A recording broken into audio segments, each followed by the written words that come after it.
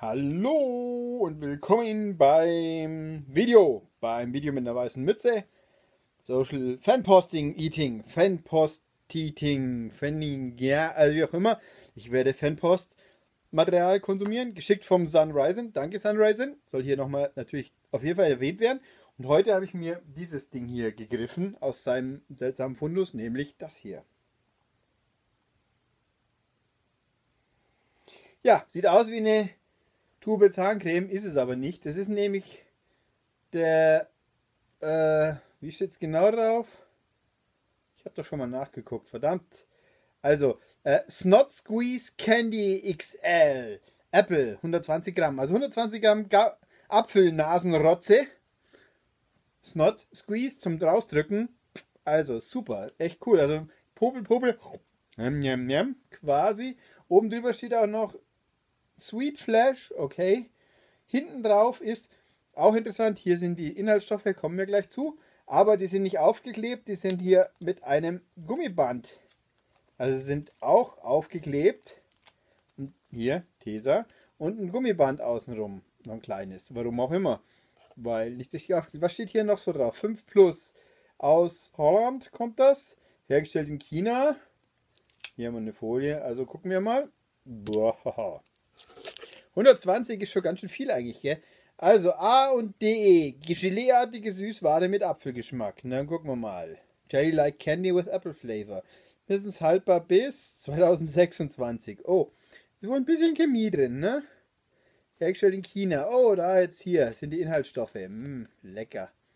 Kalorien sehe ich gerade keine. Finde ich die hier noch irgendwo? Ah, doch, hier. Schuh. Zutaten: Glucose, Sirup, Zucker, Wasser, Säurungsmittel, E330, Aroma, Konservierungsstoffe, Farbstoff. Oh, ziemlich wenig, aber viel Chemie. Also pro 100 Gramm 320 Kalorien. Ja, dann gucken wir doch mal. Was steht hier? Verificada Raccolta Differenziata. What? Ich weiß es nicht. Müll halt, ne? Also, so sieht es aus.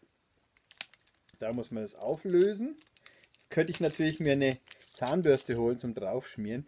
Ich könnte da schön drauf drücken, aber egal. Machen wir es mal auf. Mhm. Also, dann gucken wir mal. Hup.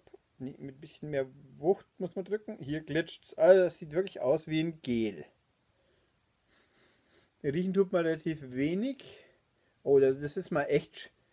Das ist keine typische Rotze. Das ist mal echt schwergängig. Ich drücke hier ganz schön mit Wucht drauf und das kommt ziemlich langsam raus. Kann ich euch sagen. Also flutscht nicht versehentlich durch die Luft. Das quillt echt langsam. Also, oh, uh, das ist auch ganz schön. Oh, das ist eine zähe Masse. Also keine Zahnpasta-mäßige. Ja, da muss ich es jetzt mal so runterschlürfen.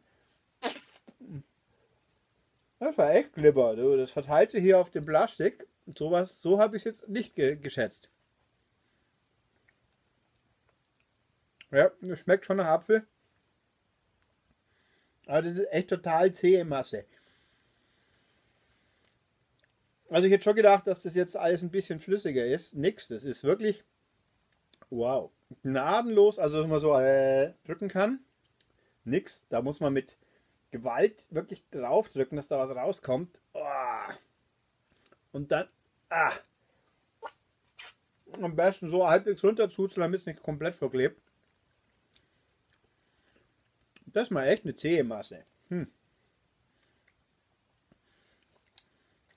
Also eigentlich kann man sich da nur ansauen, wenn man es mit den Fingern macht, dann pappt es wie blöde. Und wenn man es so abschlägt, ist es auch nicht irgendwie super hygienisch, ästhetisch auf dem Plastik rum zuzeln, auch wenn das natürlich abgeklebt war jetzt. Hoppala. Jetzt hat es plopp gemacht. Da war wohl eine Luftblase irgendwie drin. Weil jetzt ist wieder zähe Masse. Also es ist wirklich zäh wie Sau.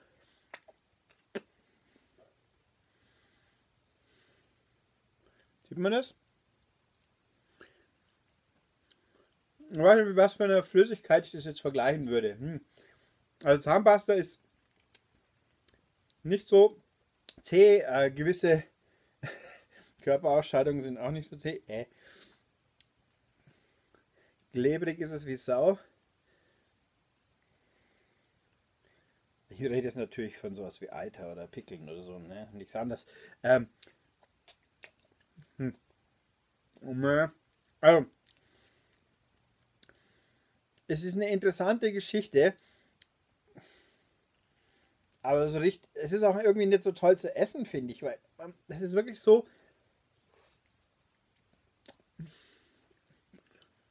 Zäh und klebrig, also zum Glück nicht super klebrig, dass es ähm, an Plomben abziehen dürfte. So ist es dann auch nicht.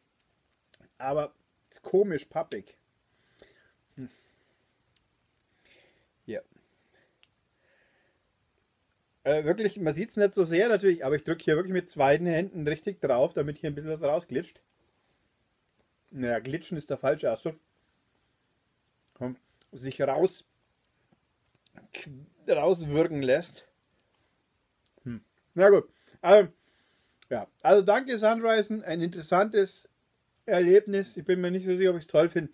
Also der Geschmack ist ja, das schmeckt schon ein bisschen wie Apfel, aber halt ziemlich süß und künstlich und nicht unbedingt fruchtig. Also, naja, komisch. Also, wer es mal suchen möchte, keine Ahnung, wo man das finden kann, wahrscheinlich in irgendeinem.